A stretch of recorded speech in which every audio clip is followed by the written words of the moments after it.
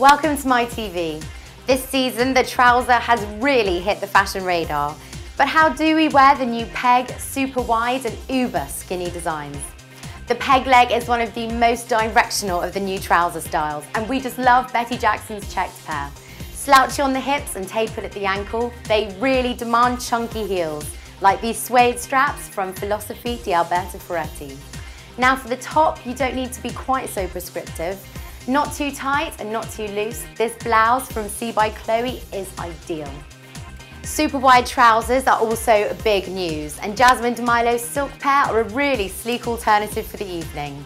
With these, you have got to wear heels and Katia Lombardo's Python platforms are spot on. To balance the silhouette, tunics and oversized shirts are real no-nos.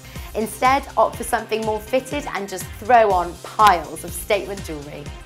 With the popularity of leggings, the skinny remains a big style statement for spring, and the bronze Sass & Bide wraps are a great choice. Their super slim ruched fit begs for something loose on top, another silhouette balancing act. An oversized tee and boyfriend blazer is a good choice.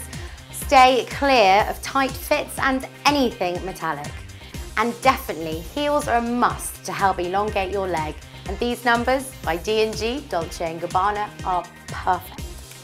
Browse the site for your new season trousers.